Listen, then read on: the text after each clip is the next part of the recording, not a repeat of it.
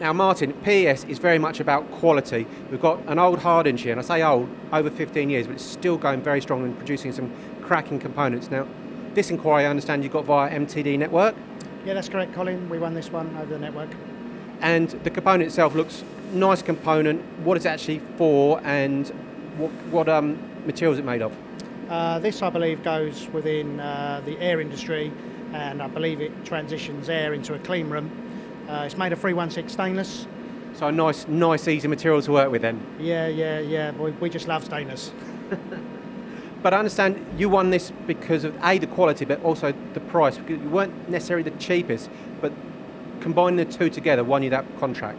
Yeah, I think we were competitive, but in 316, um, I don't think there's many people who would compare it to mild steel. So we, we obviously, it costs more. Um, but the customer was, I think, struggling with the quality from uh, uh, someone else. And we've managed to produce this in one hit on this machine as it's a kissing spindle with driven tooling.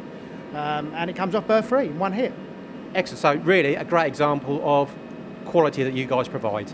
Yeah, we, we always try to keep the quality as high as what we can. Uh, there's no excuse for having sharp edges um, within a CNC machine, but you've still got to get it off, and stainless is always a problem. So quality really summarises it. Thank you very much, Martin.